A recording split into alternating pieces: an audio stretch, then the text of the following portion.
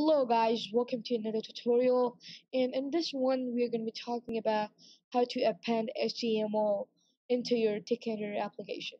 So first of all, uh, I'll just show my basic Tkinter application that I have and this is the place where I will append my HTML, okay? So now let me just run this and show you guys. Whoa, come on, what happened? Let me just get that out.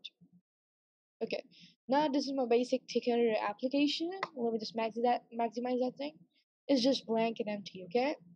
And now, what we're gonna be doing is let me display the screen of my terminal. Okay, so now you wanna pull up your terminal or command line. So if you're in Windows, click on the search option and type in CMD, and you will see an open option there. And click on it, and you're good to go. Okay. So now I not use uh, CMD, but I'm gonna be using the integrated terminal, okay?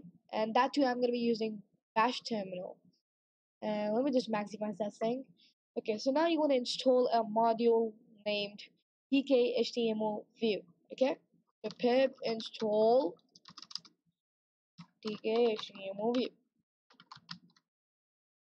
Just make sure you spell it correct TK stands for Tkinter, and then HTML, and then the view. Okay, and do enter key.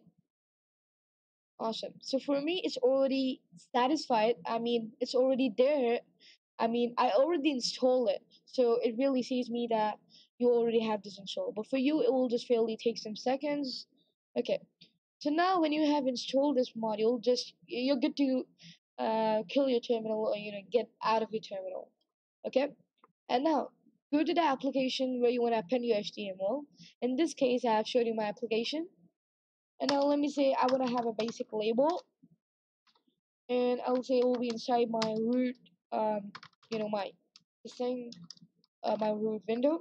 And my text will be hello world. Okay? And now I'll go ahead and pack it.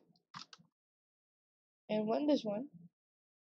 Now you see my label is there, hello world label, awesome.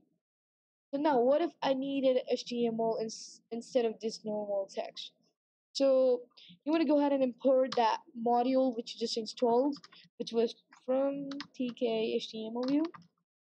Import um, HTML label, I guess. Yeah, this was the one you want to uh, import, okay? And then instead of label, just replace it with HTML label, okay?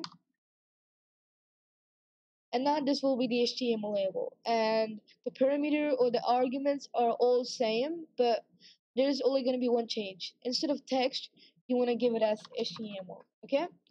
And now you can uh, go ahead and give out your HTML inside this string.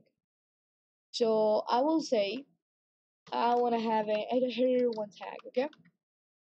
So header one tag and I'll go ahead and run this one. And now you see my header one tag there Awesome. And now I will say that I will need a hyperlink.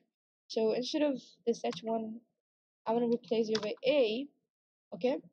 And a, uh, a tag will have an href, and in this case, I will give it to https www.google.com. Okay. Uh, one thing I forgot to do is you want to have this string. Okay like just make sure that you're formatting the string correctly because my all over string is wrapped with single quotation and this string must be wrapped with double quotation so that Python doesn't get confused. And let me just go ahead and run this file. And now you see I have a hyperlink there, my A tag. If I click on it, that will just redirect me to the Google page.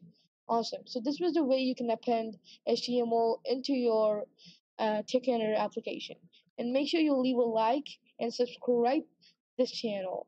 Thank you for watching.